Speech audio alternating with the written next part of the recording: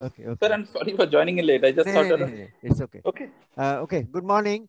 Uh, we will have a case presentation by uh, Dr. Uh, Nadeem Khan from IPG MRE second year PGT. Uh, a case of gastric obstruction due to peptic ulcer disease. Uh, Dr. Ramanuj Mukherjee will be with us today. He will take us through this uh, case presentation. Uh, Dr. Nadeem, you can start, please. So very good morning, Nadeem. Please start. Morning, sir. Okay. So my case presentation will be a gastric obstruction. So I'll start now, sir. Yeah. Yeah, please. So the patient was a 45-year-old male residing in Birbhum, a laborer by profession. He had presented to the OPD with pain in the upper abdomen for the last four years, with vomiting for last six months. On elaborating the present complaints, the patient is apparently well four years back since when he started having sudden onset dull aching pain in the central part of his abdomen. The pain was more on an empty stomach and relieved by food intake. The pain was initially noted to be periodic in nature, occurring for about two to three months, with a pain-free interval in between about three months. But since the last five months, the pain is consistent. There is no history of any radiation of pain to other parts of the abdomen, nor any other associated pain features. And along with the pain, the patient has also presented with vomiting. Now, his vomiting was present for the last six months and recently occurring almost after every feed. It is projectile in nature, non bilious, and containing food materials that are taken earlier, usually 12 hours or earlier. The vomitus, as per the patient, was sour in taste and colorless. Patient also complains of an intermittent rolling mass in the abdomen, which he noted to be moving from the left to right. There is no history of any associated hematemesis, melena, or jaundice.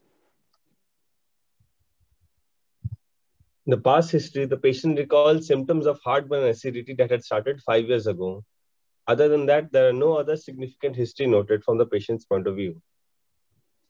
Regarding his personal history, his bowel and bladder function are normal.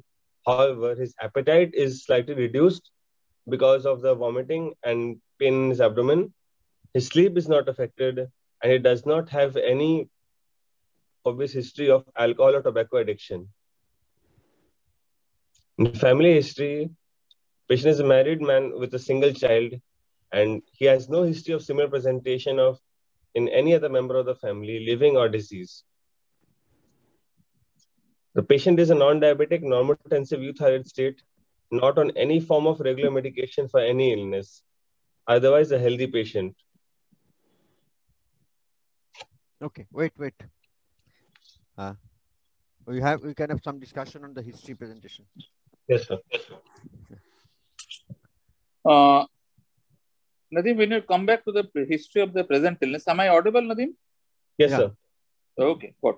Now, when you come to the history of the present illness, the patient is a 45 year gentleman who presented with a pain in the upper part of the abdomen. Now, with the Yes. initial part of the history, what do you think is the probable organ of origin of pain? Since the just upper abdomen, so it could be the stomach or it also could be a gallbladder. Okay. But Uh, uh, or talking in an embryological way, a postgraduate should answer that it is usually an Foregut. epigastric pain rising from foregut structures, foregut, foregut, sir. Yes. stomach, duodenum, gallbladder, pancreas, sometimes liver or bile duct stones, because your Hmm. pain started in the upper part of the abdomen. You had also complained that this pain was initially periodic in nature and then the pain became consistent. Okay. Now, as you have said, for the last five months, the pain is consistent. From the next slide, so can you go to the next slide, please? Right. How can you correlate a patient with an upper abdominal pain and vomiting? Or what are the diseases that are usually correlated with an upper abdominal pain and vomiting? So upper abdominal pain and vomiting. So, uh, so the first thing that would come to mind is a stomach path- gastric pathology. Mm-hmm. So uh, uh, other than the gastric pathology, so it may also be present in uh, case of cholecystitis, which is Mhm. associated with vomiting. Um, there also be due to pancreatitis, may also pain and irritation of stomach causing vomiting. Okay, so good. So let us stick to that. So diseases of the stomach and duodenum will start with epigastric pain. Due to the pain and the pathologies around the gastric outlet, like the pylorus and the duodenum, the patient can have vomiting and pain. So this is correlation number one. Number two, other disease, uh, other differential diagnosis, gallstone pains. Number two, last is pancreatitis. A patient with a gallstone comes with a pain history and a vomiting. How do you differentiate it from a patient with a gastric pathology? Uh, uh, from cholecystitis, sir. Yeah, chronic cholecystitis. So the patient uh, will usually have a uh, chronic cholecystitis. The patient will usually have a biliary colic, sir. Um, okay. And we are so, digress from the topic. So the patient will have a biliary colic, meaning the pain is made onset by fatty foods. Mm-hmm. The onset of the pain is in the upper abdomen. The intensity of the pain is usually mild, but the vomiting and the bloating sensation starts not exactly with the pain, but different from the timing of the pain. Lastly, the vomitus, as we have very rightly mentioned, we are coming to the vomitus, is usually containing digested food materials and is bilious in nature. So these are basic questions that you will be asked about to start with. Next, you have also talked about vomiting and you have talked about projectile non-bilious. What did you want to suggest by this terminology, projectile? So um, there is a definite obstruction causing the. Uh, we know that, sir. That is the case that we are discussing today. What is yes. this projectile story, sir? That means he starts vomiting in India and falls in Pakistan, something like that. What is this projectile thing? Projectile is a very poetic word, sir. Anything that you can more quantify in this projectile nature of the vomitus? Um, so, okay, see, projectile and non-projectile things are more flowery. The better word should be it is an effortless vomiting. The okay. normal or say now there is nothing normal in a vomiting. The patient with a vomiting due to other causes, like say for example a gallstone, hmm. usually have an effort that he makes to contract his diaphragm, contract the upper abdominal muscles, close the glottis, and then with a sudden contraction of the diaphragm with the reverse peristalsis, there is an effort by the stomach. That means the vomiting is usually conscious vomiting and the patient usually makes an effort to make the vomiting, say around uh, in a tumbler or in a basin, etc. Now, this vomiting was effortless in the meaning that this did not come with the classic retching that accompanies the vomiting and or if there is a retching, the vomitus is usually large in volume and is known to be falling at a distance from the patient and hence the classic poetic word was projectile. Okay, so this is the basic difference and suggests that there is a mechanical obstruction at the gastric outlet in which there is a large reverse peristalsis in the stomach promoting the reflux of the gastric contents. Okay, so have you understood, sir? Sure. Okay, so this is this one. You have also said important words, non-bilious vomiting. Why did you suggest that or what did you implicate by that, sir? So by that, sir, uh, it says that uh, since it's non-bilious, sir, uh, there is not mixing of bile, which means there is it is not a small bowel obstruction. That the obstruction is proximal to the small bowel, sir. Or let us be a little more focused on that. So the obstruction is proximal to the ampulla of Vater or opening of the bile duct in the duodenum. Hmm. Okay. Just a little cursory query that I will be discussing again in differential diagnosis. A three-week neonate has a repeated vomiting with exactly the same thing. Mother fed the baby, there was something moving around in the abdomen, and each time the vomitus contained milk with no bile. Okay. So, mm. what is actually the cause that you think of? We'll be talking differential diagnosis later. We know that. Yes, sir. So if this is a three week old male child with this exactly point of history, something moving in the around the upper abdomen and vomiting, what do you think is the presentation, sir? What is the disease? So, Uh, so it's uh, chronic, uh, it's a congenital hypertrophic pyloric stenosis of Yes. CHP. So it is not called chronic, it is called as Congen- Congenital. sir. Now, nowadays we don't use the term C, we use the term I. I. Infantile Infantile. hypertrophic pyloric Right. stenosis. Very good. Okay. So now the question that sir is not exactly this. We are dig- we should not digress again. Now there are two conditions which exactly produce this same etiology: is the duodenal atresia and a CHPS. Remember that in CHPS the block is at the level of the pylorus. Hence, the vomiting is not bile stain because there is no reflux of the duodenal content into the stomach. So please understand the vomiting physiology. Hmm. In your disease or in your patient, remember the vomitus is not bile stained because there is something in the level of the pylorus that is preventing the duodenal contents to come in the stomach. Okay, so this is an important part of your diagnosis because remember that. Now, say for example, sir, consider that this patient has a cancer in the antrum of the stomach. Will you have the same kind of a vomiting versus a gastric ulcer in the in the antrum of the stomach? Uh, cancer in the antrum, sir. Hmm. So it will also be causing obstruction, uh, similar with pattern, sir, but But okay, so you're not very sure. Sir, we'll come back to that. So I'll be remembering the question. And you also said that the patient complained of a rolling mass in the abdomen moving from left to right. Very rightly said. Does the rolling mass in the abdomen appear every time of the day, or is there something specific precipitating factor that brings about the rolling mass? So uh, it happens uh, almost. Uh, mm, it doesn't have fixed pattern, sir. It, So that means a pattern is in relation with the intake of food and liquids, particularly with intake of liquids and food that makes the lump prominent after a couple of minutes or even half an hour after the patient took food. Okay, this Hmm. will again strongly suggest that the rolling mass from the left to the right is a stomach lump or a stomach mass.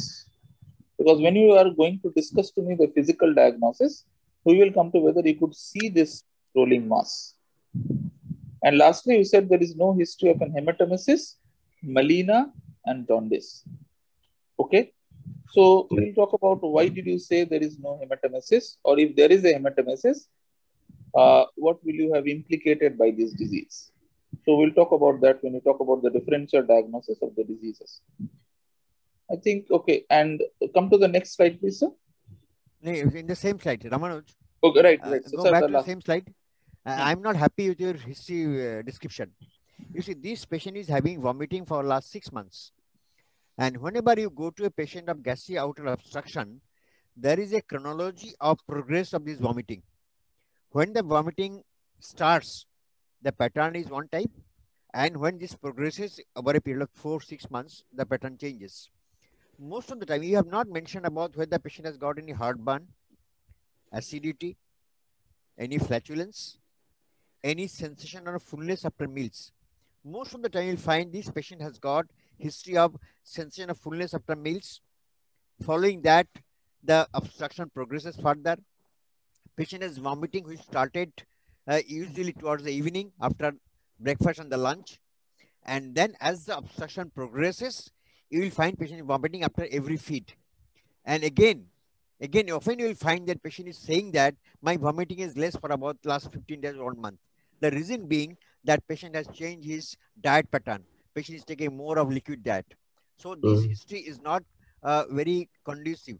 You should go into the clear description of the chronology of fullness after meals, how was the vomiting at the onset, how is the vomiting in between, how is the vomiting at the moment. Next Okay, is sir. Case. you should mention his appetite in weight loss in the same plate. You should mention about his bowel habit in the same history of present illness. And I always prefer to have some description about other systemic symptoms. Even if it's not a malignancy in the first go, I, I'll always prefer to have his status of respiratory symptoms, any cardiac symptom, any neurological symptoms. So that should come in history of present illness. Maybe no, no, or you can say one line, there's no other systemic symptoms, but that has to be there. Okay. Okay. So history Yes, of present illness is not just elaborating only two. What you have done is elaborate the chief complaints, but it is also a part where you should also include other symptoms which are important in the diagnosis or in differential diagnosis, or is a malignant disease for assessing any metastatic spread to the disease. Okay, keep in mind that history of area is little more uh, extensive area. Okay Okay, sir. and then uh, personal history uh, is studying the bladder, bladder and bowel functions. Why not study patient is married, comment about the spouse, his dietary habit. Uh, we have not mentioned his dietary habit. Is he taking his normal diet? I I am afraid he's not taking normal diet. So he might have changed his diet pattern. Okay. And then you mentioned sleep and then addiction. Okay. So go cover the points which are to be there in the personal history. Family history. You see, what you have written? Nothing. At least you should comment there are some genetic predisposition to peptic ulcer disease. So it's no similar any other member of the family of the living, and also you should exclude any history of malignancy in the family, in the first relative at least. Okay. Yes. Okay, then okay, you, you can proceed to examination. Ramanuj, anything else in the history? Uh, well, sir, can you come to that bladder and the bowel issues? Huh. Right. When the bladder and the bowel functions are normal, tell to me one thing, sir. Because whether we discuss it now or we discuss it at the end, No, no, just keep, keep, if a complete, patient complete. complains of chronic vomiting, say for last six months, the patient is having vomiting Yes. every day. he might have constipation. What? Right. And he might have constipation. Can you tell me what is the reason of getting constipation?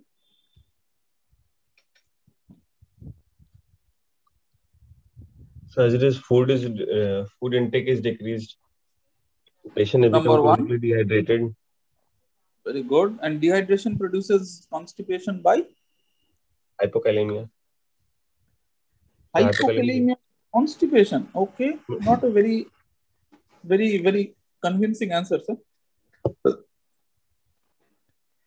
Sir, number one, remember as sir has very, very, very, very important point sir has told, the patient has changed his diet. Patient initially took fiber in the diet, gradually changed his diet to become liquids. That means the bulk of the stool will be less formed. Point number two. Remember, vomiting is going to produce dehydration, which activates the RAS system, which activates the aldosterone to absorb the water from the colon. So this produces stools which are less in volume and they are more hard. Okay. Mm. And similarly, as you have said, bowel functions none, bladder functions. Now, examiners will ask chronic vomiting. So, number one, you have said constipation. Anything more, sir? Next, okay, okay. He should describe the bowel habit. And It's not normal. exactly, you should describe the bowel habit and the bladder. Yes, yes.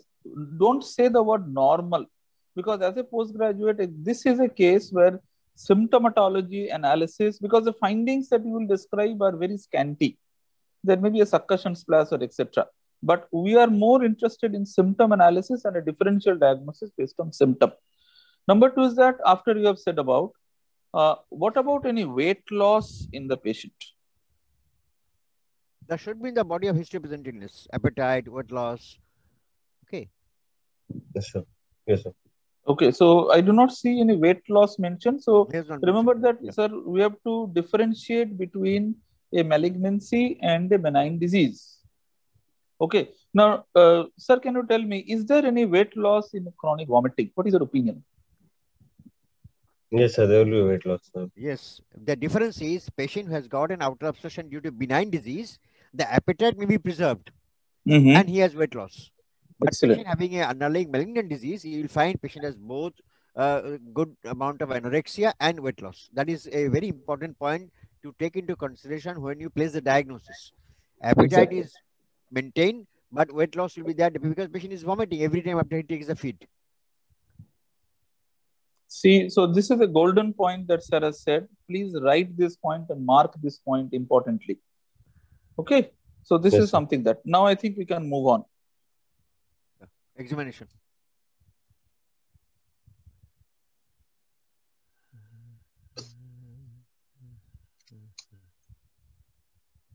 On physical examination and general survey, the patient was already conscious cooperative. His build was average, but was poor nutrition, and the patient was chronically dehydrated. A normal facial decubitus of choice. Pallor were present. The cyanosis, clubbing edema were not present. Neck veins are not engorged. Neck glands are not palpable. Vitals are normal, and there was no any other obvious deformity noted.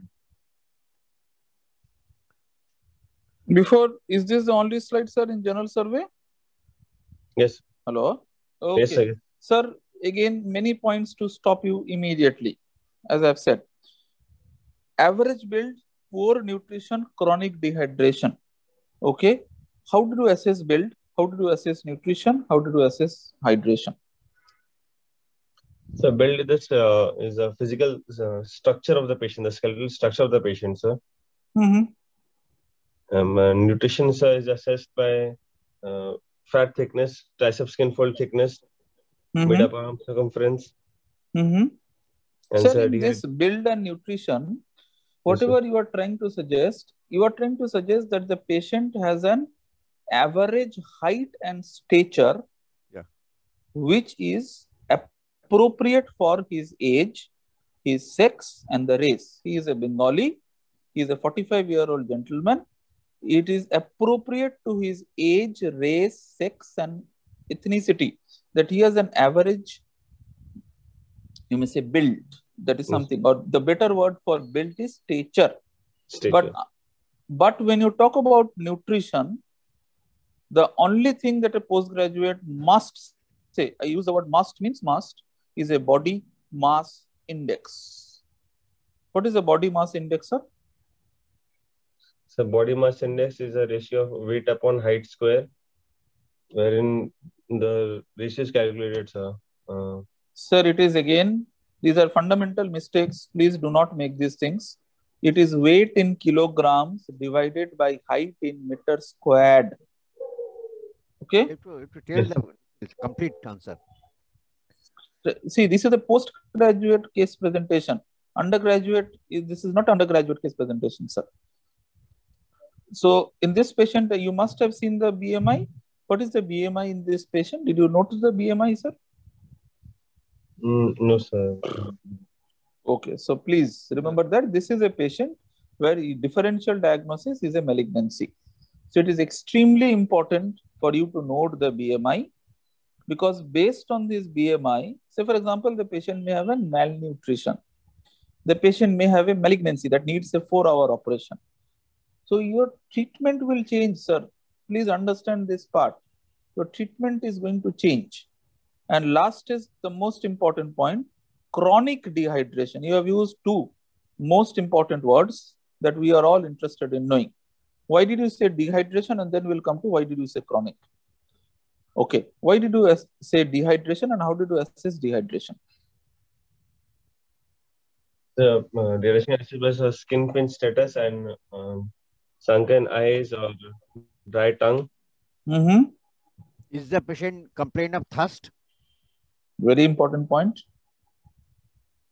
So Patient that is also important if to ask whether he is feeling thirsty or not. A person who is thirsty is likely to be dehydrated. Number one. Number two, you should ask the patient whether he is passing the uh, uh, average adequate amount of urine or not. Patient can tell that I am passing less amount of urine. So that is one symptom of dehydration. And when you do a catheter and objectively measure, that becomes your part of objective assessment. So dehydration should be from part of the history. He is taking less food. He is uh, having vomiting. So these are the two indirect parameters that patient may be dehydrated. And then you assess by what you said is number one, you can look for the pulse. You can have the assessment of blood pressure. You can look for skin turgor. You can look at the tongue. you can look at the eyes. And then objective assessment by urine output over an hour. So this is how you assess hydration status. Okay. Okay. So I think sir has very, very important points that are there, sir, in this case. If you feel that these are so basic things, we are really not coming to an operative discussion, we will. Remember that this is exactly the point where a postgraduate is stopped at an examination, and these are the points that he does not have an answer to. So I have I have felt all of you must have noted what are the points that sir said. Okay. Now, what are the technical differences? You said chronic dehydration. What are so specific things about a chronic dehydration versus an acute dehydration? The patient is having symptoms for a long time, sir, since six months or Sir- more. Sir, this is a this is this is the part which you examine. This is science. Sir, do not make basic fundamental mistakes. This is a postgraduate examination. Undergraduate, we just skip things. You are looking for some signs of chronic dehydration. You will ask histories in present history. That is done. Acute dehydration, remember, the main signs of an acute dehydration will be presence of thirst. Number one. Number two, the mucosas are dry, the eyes are sunken, the cornea and conjunctiva may be more dry, absence of tears are signs of acute dehydration. Chronic dehydrations, the mucosas may be normal, but the skin turgor is lost, the skin shine is usually lost, particularly the skin which is loose and lax, that means over the dorsum of the hand, sometimes even over the anterior abdominal wall, can be loose and lax.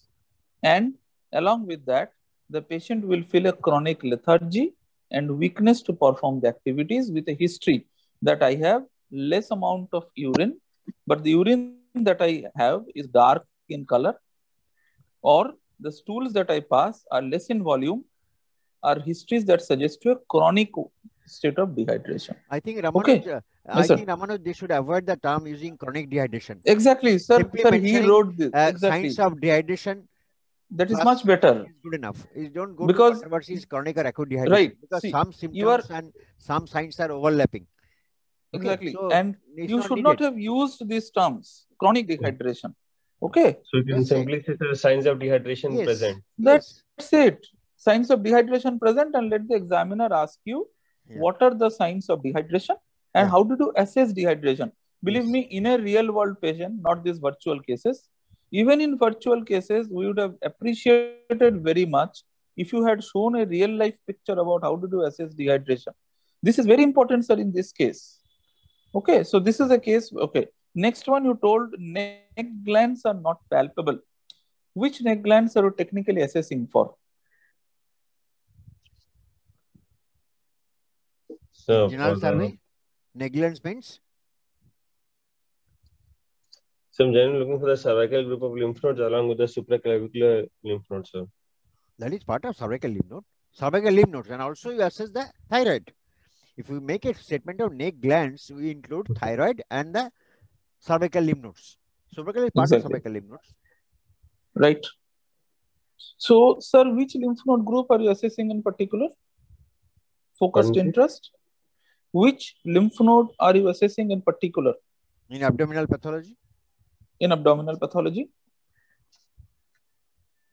Uh, supraclavicular group of lymph nodes, sir. Mainly, sir. It's Sir, not exactly group of lymph nodes are medial, intermediate, lateral. Which one are you assessing? Or they are scalene, medial, intermediate, lateral. Which one are you assessing in an abdominal malignancy, particularly? Where is the Virchow's node? Where is the Virchow's node, Nadim? So virtual side, uh, left supraclavicular. Uh, Where is it? It is not in the exactly level five. Exactly. So this is exactly the the- point that was coming to. It is you see, in between the two head of sternocleidomastoid, it is a part of level four node. So it is Very, very important point. Please it's write not- this with golden words. This is a It- part it's of level this, 4B. Very good. Okay. Okay. Nadim, can you tell me one important, just a little? Uh, this is the question that I have seen many examiners will always ask. Say, for example, the patient has a cancer of stomach and the patient has a palpable Virchow's lymph node.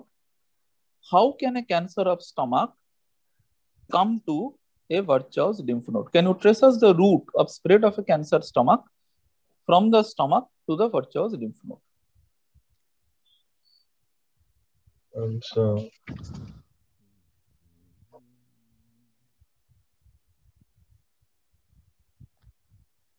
What happened to GI Um, lymphatics? What happens to GI lymphatics? I'm not sure about this. Oh, you're not sure. So Okay. uh, all the GI lymphatics ultimately drains by the thoracic duct. It starts in the cisterna chyli at the level of aortic hiatus, and then it proceeds up as thoracic duct. And the thoracic duct ends in the left side at the junction of subclavian internal jugular vein. So this thoracic duct carries the GI lymphatics. Once you have malignancy in the stomach or in the pancreas or other the GIT, this malignant cells going to the thoracic duct may spread retrogradely to the Virchow's node. That is the route. Okay, that is how the abdominal malignancy can reach the Virchow's node. Okay. Okay. Right. So, and you have said no obvious deformity noted. Where are you looking for deformities?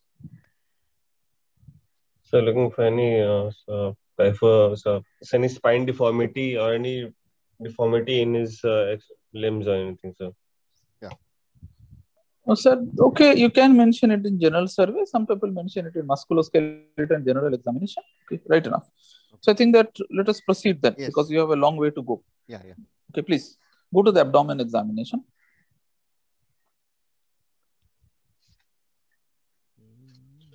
In the localization of abdomen, in the inspection, the abdomen is scaphoid in shape with fullness in the upper abdomen.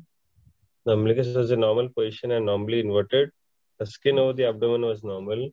All quadrants moving with respiration, and there was a visual peristalsis noted in the upper abdomen moving from left to right.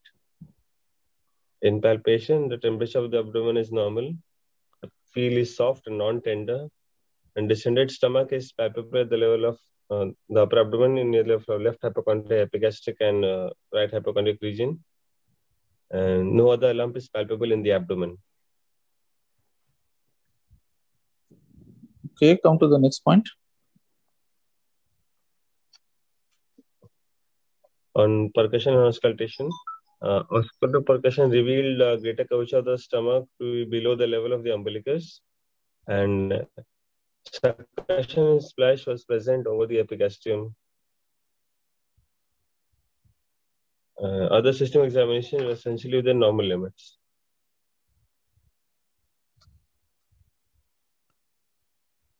Where is the summary? Nadim, before you Huh, sir? language, you're supposed to make a summary of the case. You have not made a summary of the case.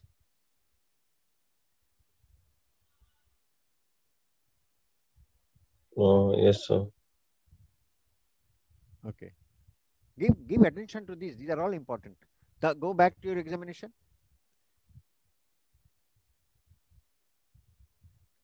You have you have taken the history. You have gone through the examination. And why you are writing visual peristalsis in the upper abdomen from left to right? As a postgraduate, I'll expect you write visible gastric peristaltic waves are seen in the upper abdomen. Let the examiner ask you, why do you say it is a gastric peristaltic wave? Then you justify. Next is you have not mentioned anything about the hernial sites, external genitalia. That should be mentioned. At least that indicates that you have done a complete examination. Okay. In the abdominal Mhm. examination also, palpation, you should mention about any palpable liver or spleen. So th- everything should be mentioned at least. Just Okay. You have not mentioned at least a per rectal examination. That also should be there. You may say I have not done the examination, but at least per rectal examination should be there. And then you have to summarize. Yeah, Ramanuj, you can proceed from this point. Yes, sir. Uh, just a few couple of points to make. As sir has very rightly mentioned, uh, you said that the abdomen is scaphoid with fullness in the upper abdomen. What is a scaphoid abdomen? What is the scaphoid abdomen? uh, hollow, uh, hollow looking, sir, How do you Uh, quantify a scaphoid abdomen, sir?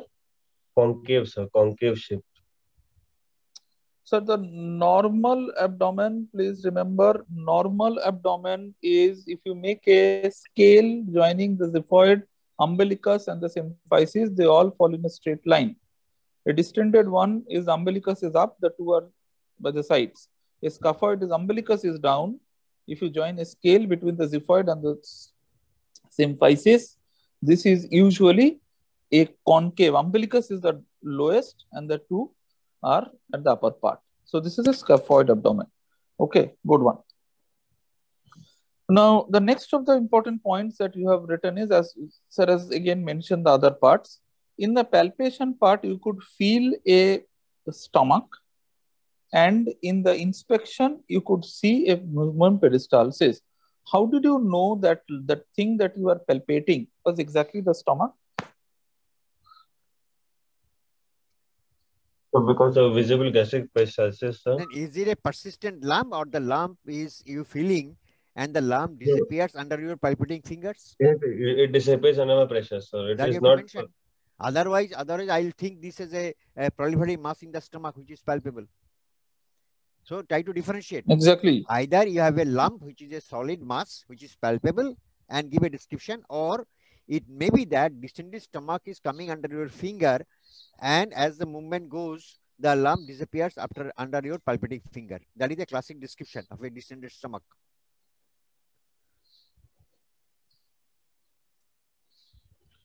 Okay, the next of the third point, sir, is now you have mentioned this part. The soft feel non-tender. Uh, well, when you are mentioning quadrants, Nadeem, Yes, left hypochondrium, epigastrium, right hypochondrium. In the other hand, you are mentioning in auscultopercussion that the stomach is well below the umbilicus. Sir, please include the umbilicus or the umbilical area also as an important part where the stomach was felt if you are really confused about which segments of the abdomen or sectors of the abdomen the stomach is, don't use terms like right hypochondrium, epigastrium. These are small areas. Try, write that I could feel the distended stomach in the upper part of the abdomen, which was felt by an auscultopercussion extending with a greater curvature beyond the level of umbilicus. Yeah. This would have been That is a better description. is a better description. Okay. Because sir. see, Nadeem in a postgraduate exam, learn to be cautious about the words that you write and that you use. We have already spent a long time in the history part, sir. We've thought about discussing many important things. And you have seen visible peristalsis noted in the upper abdomen from left to right. Okay. Now, in the upper abdomen, do you know of any other cause of a visible peristalsis? In the upper abdomen, do you know of any other causes of visible peristalsis? Upper uh, so Say there is a growth in the splenic flexure of the colon. If there is a peristalsis in the transverse colon, how will you differentiate it there from a stomach peristalsis? So that will be sir from right to left, sir. Yeah. The transverse cones. That will be from right to left. Okay, and this is from left to right. Now let us come around the umbilical area. There is a patient with a ileal obstruction. How is that peristalsis? Sir? So that will be in the central part and so is a step ladder pattern. Sir. Okay, very good. And there is a growth in the rectosigmoid.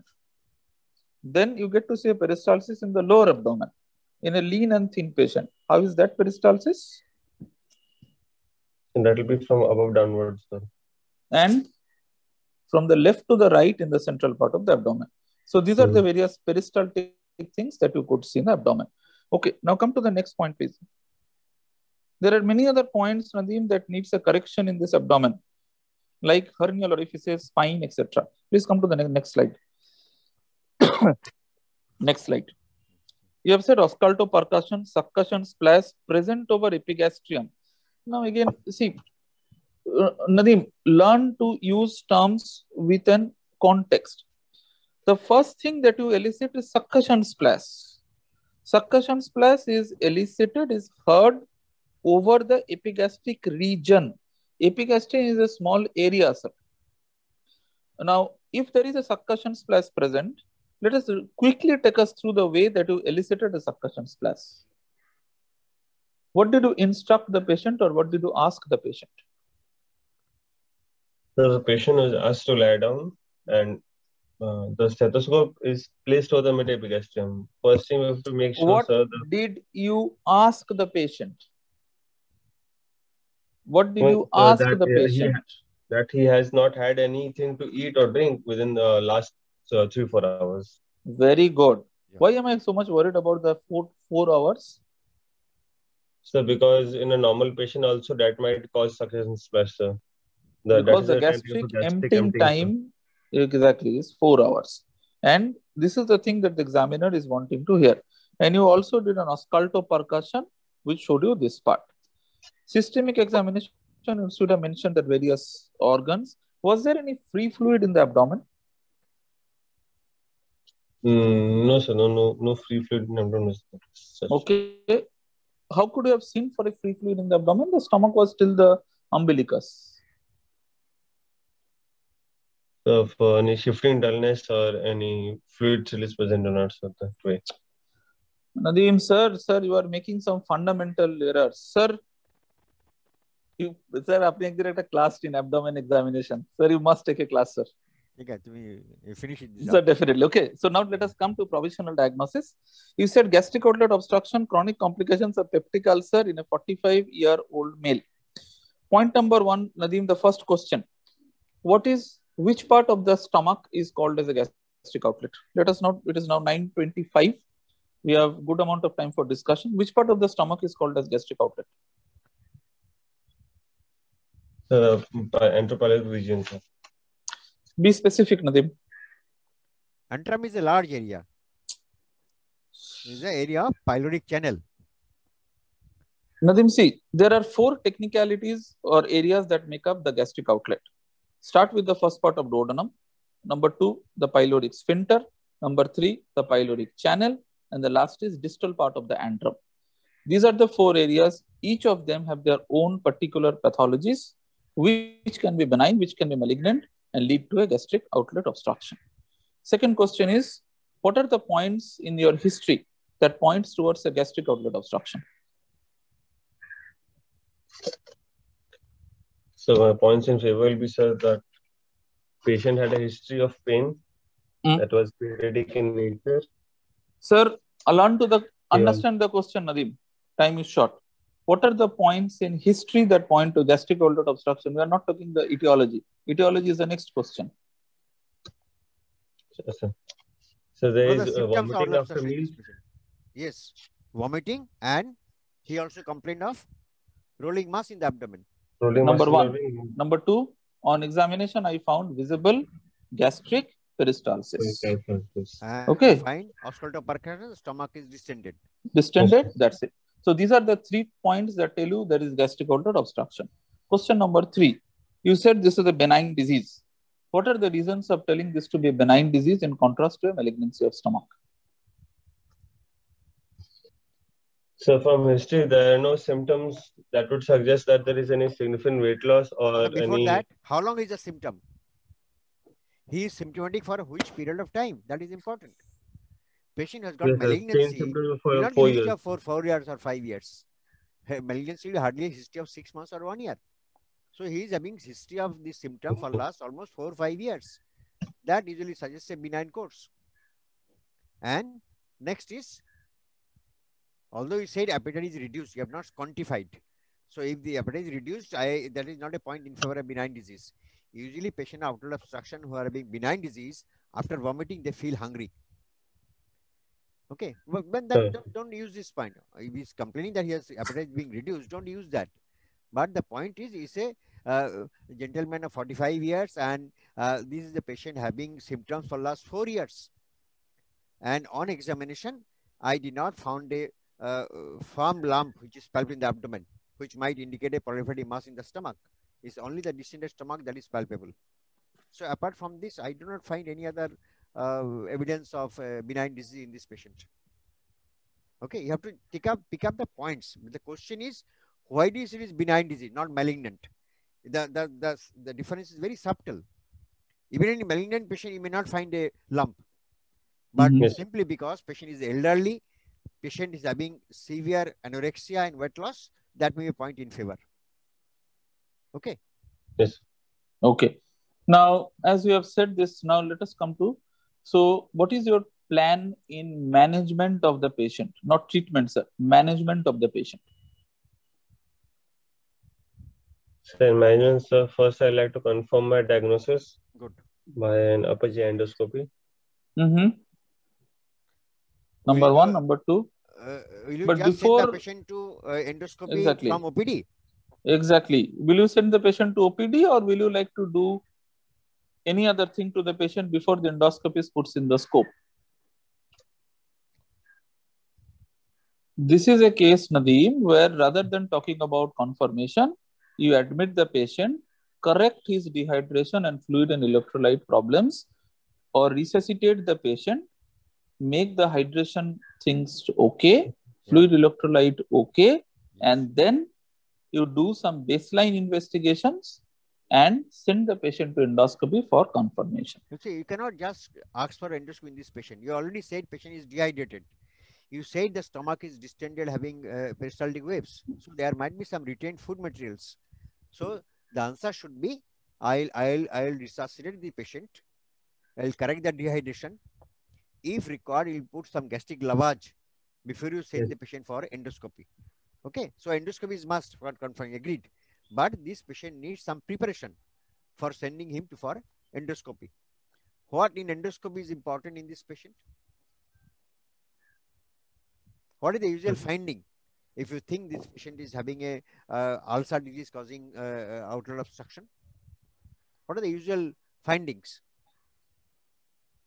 So there may be a food residue present in the stomach because of the Yes. gastric obstruction, and the stomach will be dilated, sir. Yes. And uh, the because of the stenosis, uh, the scope will not be able to be passed beyond uh, yeah. the. So you will not find any proliferative growth or ulcer in the stomach. No, sir. You can find a narrowed pylorus, and it may be difficult for negotiating the scope into the duodenum. So these are the situations that may be a finding in chronic peptic ulcer disease. Okay, so please mark the word difficulty in entering the duodenum. This is an important word, plus minus presence of or absence of bile, plus minus gastritis. But the most important word is difficulty in entering the duodenum. This is the most important word. What Sir has mentioned is very golden words. Please understand this. Yes. Okay.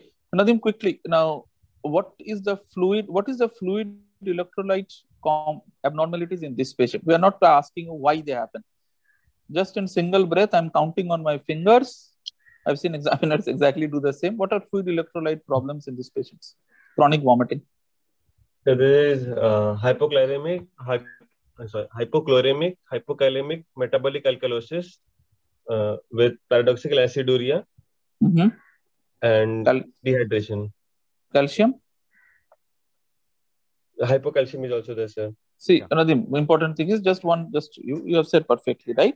I will start with dehydration, hypokalemia, hyponatremia, hypochloremia, metabolic alkalosis, initially compensated, then becomes uncompensated, and paradoxical aciduria at the end of severe hypokalemia. Lately, metabolic alkalosis to be followed by hypocalcemia. Please remember this sequence because in postgraduate en- exams, you are going to be asked about this question. Okay, Okay. what is the fluid of choice for resuscitation? So normal saline. Anything to top up it with? And, So, uh, so normal saline contains most of the electrolytes. but, and, sir, and, except, and, what, what and, need and. Except- except potassium, sir. For that, we like potassium chloride. Okay. Uh, How so much you need to add normal saline? potassium. How much normal saline will you give? So uh, we have to conserve it uh, by rather than quantifying it, sir. I'd like to uh, start normal saline until the urine output is normal, sir. And uh, So you can give a fluid challenge of one liter and then you observe. You said skin turgor is lost. See whether the skin turgor is coming back or not. And then see whether the other features of dehydration is correcting or not. You say tongue is dry. You say eyes are sunken, eyes are dry. So once you start hydrating the patient, these signs will reverse. And then object is seen by urine output. Clear? So initially you can give the patient one liter fluid challenge. So the correction and volume required will be dependent on the amount of deficit already there in the patient. So that Hmm. might vary. Absolutely. And how much potassium will you give? So that has to be assessed. Um, um, Yeah. Body weight is 70 kg. So how much potassium are you going to give? uh, 70 sir, uh, it is given as One two milliequivalent per one kg per- per day. At least one milliequivalent because you don't know the kidney status as of a, yet. that is a normal requirement. In addition to that, you have to take into account the pre-existing Loss. deficit. So you should have an estimation of potassium level and you have a uh, calculated deficit in the body. And what Dr. Ramanuji said is a normal requirement for a adult person, one milliequivalent per kg per day. So that is a total amount which is normally required. Plus you add up the pre-existing deficit. That is the amount of potassium you have to. Okay. Now, so the patient is resuscitated, endoscopy done, endoscopy suggests benign condition. They have not taken any biopsy. Okay. Now, what is your plan, sir? so I can go for a rapid urease test for confirmation whether Say uh, there is a Helicobacter pylori present. Okay, done. How will that change your management, sir? The Helicobacter Mhm. pylori has done the ulcer, ulcer has done a stricture. Nadim, think of it as a surgeon. This is your patient in the ward. The patient has a mechanical block. Your medicines are not going to take away, Helicobacter medicines are not going to open the narrowing. You have to do something to open the narrowing.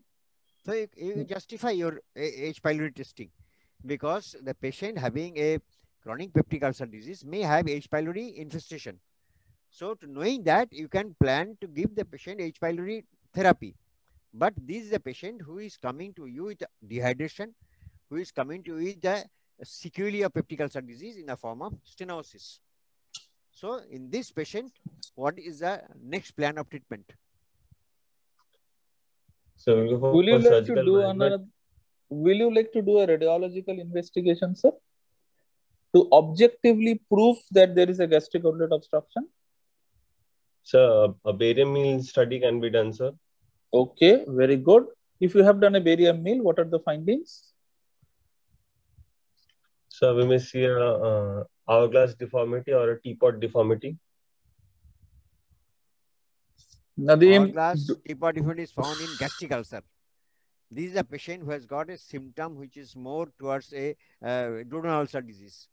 So teapot cicatrizing duodenal ulcer. Teapot deformity is not found in duodenal ulcer disease. In duodenal ulcer disease, there is pyloric stenosis, outlet obstruction. So don't use the term which are uh, not relevant to the particular patient. Exactly. Gotcha. Nadeem, do not unnecessarily use terms. Number one, the stomach is hanging beyond umbilicus. What is the first thing that the barium picture shows you? Large distended stomach that is hanging in the pelvis, maybe if the patient is standing. Point number two is the stomach contains old food materials giving a honeycomb appearance. Point number three, there is no passage of the contrast from the stomach to the duodenum, or if there is a passage of contrast, there is a partial passage or retention of the dye in the stomach. What is the sure shot single picture diagnosis that there is a gastric outlet obstruction? From one picture, barium is usually a series of pictures. One picture tells you there is a gastric outlet obstruction. We often ask the to do that. So I couldn't catch the question. No. Uh, you Sir, take a- question is, you take a delayed film. Args are released to take a delayed film even after six hours.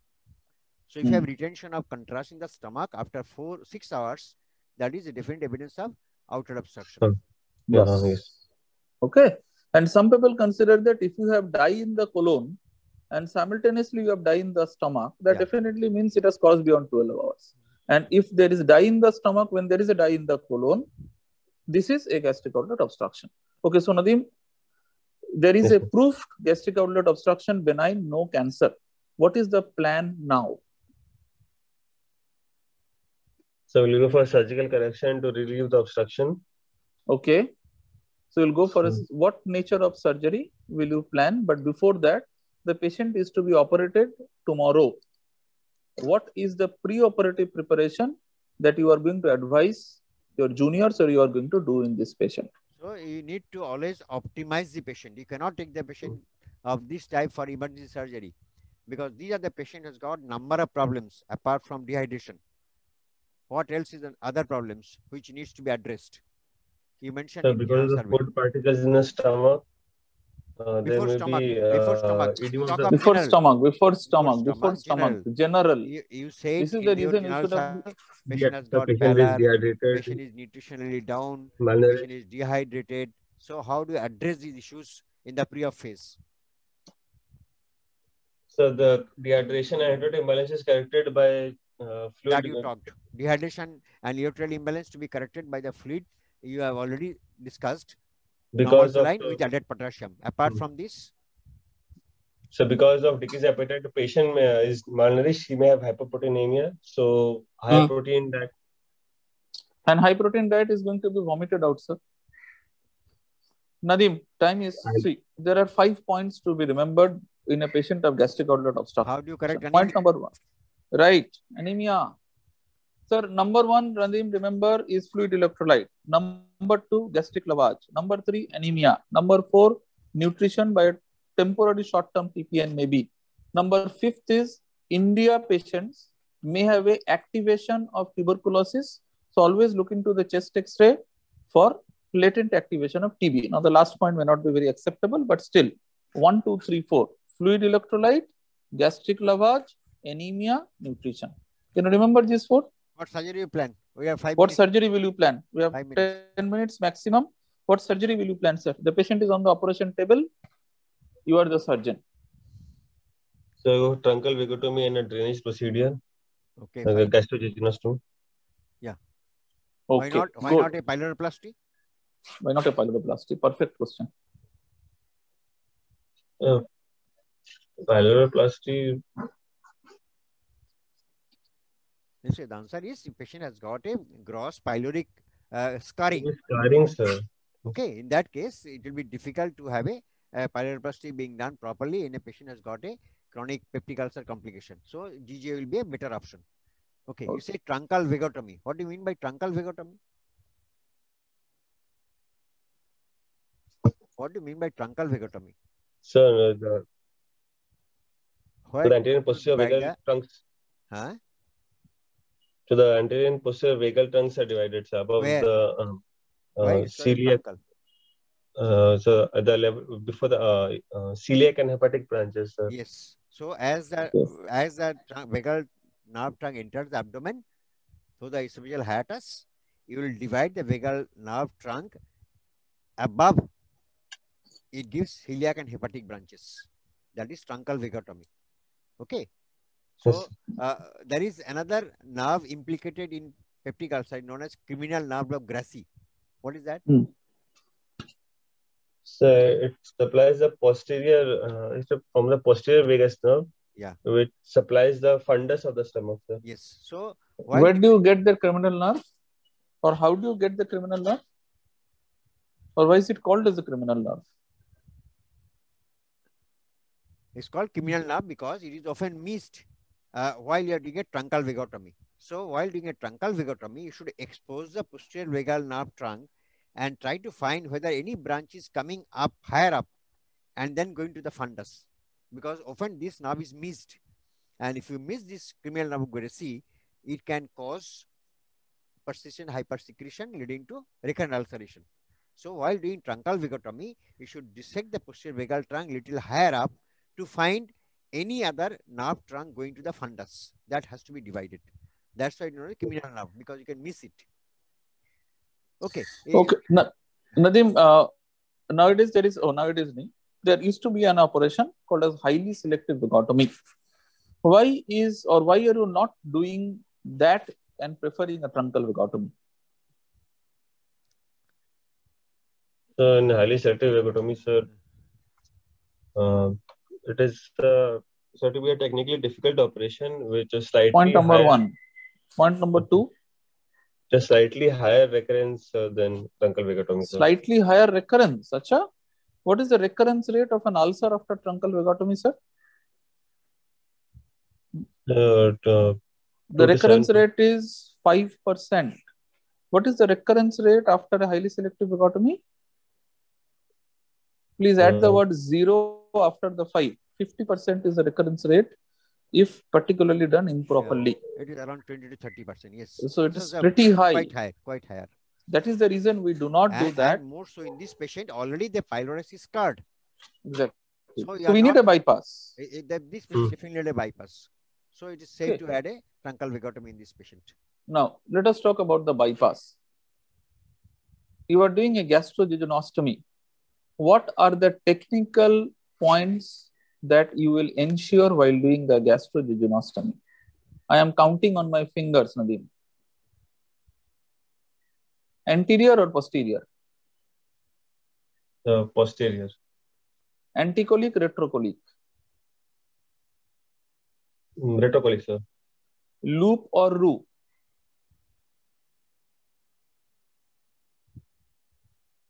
Mhm. What one is better, a loop GJ or a Roux-en-Y GJ? You think should be better? Roux, sir. Roux, very good. Because you- Okay, you, avoid the reflux. very good. Because the minute you talk about roux, the second question is why roux? Because you avoid a bile reflux. If you had done a loop, like I prefer to do a loop, then what will you? What are the points that you must ensure while you have done the loop?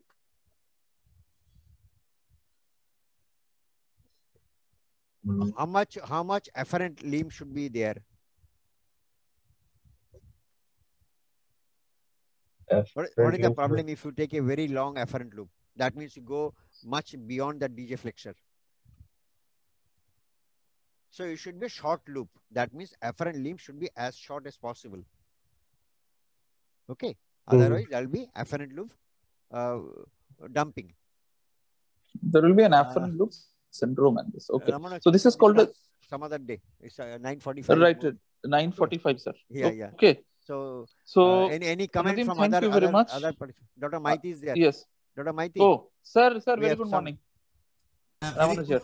very good morning, Dr. Ramanuj and Dr. Saha.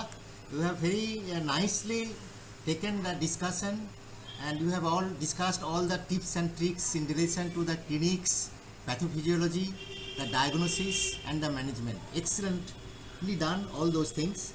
And a few points I like to mention Yeah. and uh, to, to Nadim Yes, sir. uh, uh, you started the history as if uh, it started in the form of uh, acute peptic ulcer disease and you have given uh, more trace that it was acute onset like that i think you could avoid that that uh, mode of onset of a long standing presence of chronic duodenal ulcer with obstruction that type of presentation is not always it is always incidental like that and uh, regarding the vomiting, you have mentioned rightly that it is not sour, but very often the vomiting is offensive in odor because of the fermentation.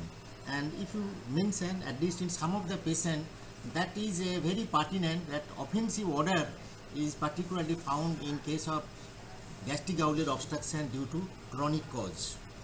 And the term you have mentioned bowel function and Professor Makhulal Shah has already mentioned and he has already repeatedly said bowel habits.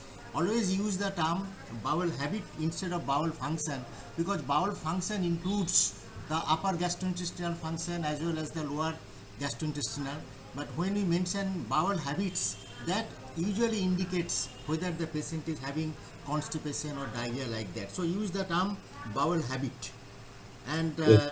Professor Ramanuj has rightly mentioned the causes of your uh, mm, uh, constipation in the gastric outlet, chronic gastric outlet obstruction, and that can be present almost always in case of pyloric stenosis as well as in infantile hypertrophic pyloric stenosis. Nowadays, the pediatric surgeon prefer to use the term infantile hypertrophic pyloric stenosis, that is IHPS, instead of CHPS, congenital hypertrophic pyloric stenosis, uh, because it is often considered nowadays as the uh, origin after the birth because of some food habits like that.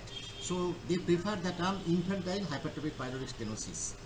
And for the student, I reminds you that this term pyloric stenosis is a misnomer like many such in the medicine and it is actually in the duodenum not in the pyloric sphincter or pyloric antrum. So remember it is a term pyloric stenosis, it is a misnomer, it occurs actually in the duodenum. These things Yes, I'd like to mention, these few points. Otherwise, uh, Nadim, you have done extremely well and you have answered the question. Ramanuj, thank you very much to be very precise and uh, un- giving a good understanding to all the students. Thank you very much. Thank you, everyone. Last Sir. minute, last comment, Ramanuj, last comment. Uh, last comment, sir, is only one.